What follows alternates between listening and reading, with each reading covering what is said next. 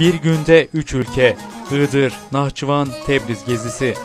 Iğdır'ımızın coğrafya olarak stratejik önemine vurgu yapmak için ve Iğdır'ı dünyaya hak ettiği şekilde tanıtmak için yollara düşüyoruz.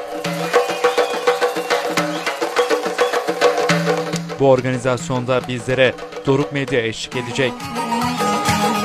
Etkinliğimiz 11 dile çevrilerek tüm dünya medyasına servis edilecek.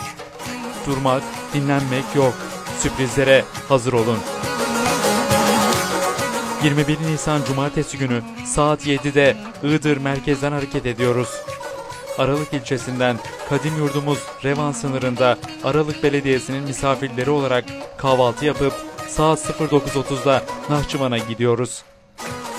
Biz Nahçıvan'a hareket etmeden önce bisikletli sporcularımız Aralık ilçesinden saat 08.30'da Nahçıvan'a bisikletleriyle hareket ediyor.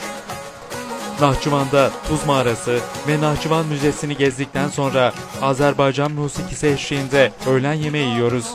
Saat 14'te Nahçıvan'dan Tebriz'e doğru hareket ederek Çulfa sınır kapısından İran İslam Cumhuriyeti'ne giriş yapıyoruz. Saat 18'de göz bebeğimiz Tebriz'de akşam yemeği yiyoruz. Yemek sonrası El Gölü gezisi yapıp saat 22'de otelimize dönüyoruz. O geceyi Tebriz'de geçirdikten sonra 22 Nisan Pazar günü Tebriz Belediyesi ziyareti, müzeler, Gök Mescit, Kapalı Pazar ve Saat Kabağı'nı gezip aziz yurdumuz olan Iğdır'a dönüş yapıyoruz.